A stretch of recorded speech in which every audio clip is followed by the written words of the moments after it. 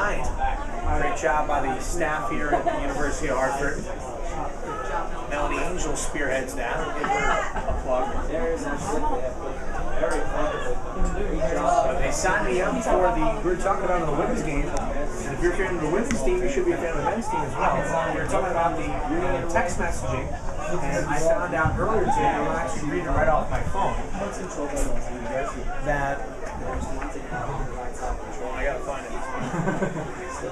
that volleyball drops the final match to you uh, at UConn Toyota Classic 3-0 to Brown University. And it came right to my BlackBerry. It's fantastic. And uh, neither soul actually led the Hawks volleyball team with nine kills in a 3-0 loss to Southern Illinois.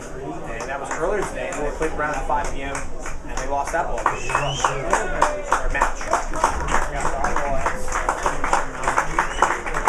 It's the uh, soccer team trailing 3 0.